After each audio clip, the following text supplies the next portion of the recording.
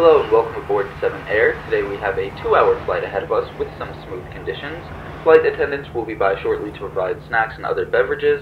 Please fasten your seatbelt and silence your cell phones. We'll be taking off in just a minute. 7 Air supports our veterans and would like to offer a special thank you to any that may be on board today. We would also like to thank the Wounded Pilot Project for making this flight possible by allowing pilots such as myself, who deal with the disability of being fully blind in both eyes, the opportunity to get you all where you're going.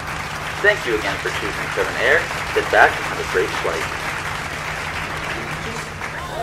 Say, whoa, what do you got a problem with blind people, buddies? That hero's probably got sonar here, like a dolphin.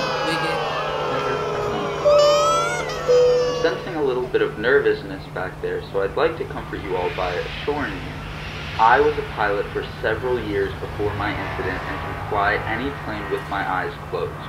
So it's a good thing I don't need to. He did this for many years before the incident. You got a problem with that? You disgust me. Ladies and gentlemen, this is your captain.